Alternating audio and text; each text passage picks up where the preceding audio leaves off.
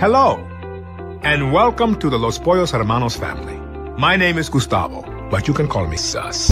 Hello, and welcome to the Los Pollos Hermanos family. My name is Gustavo, but you can call me Gus.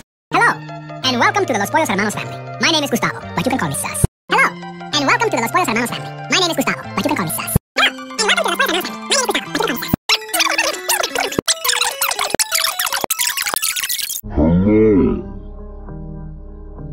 and welcome to the Respuesta Hermanos family. My name is Gustavo,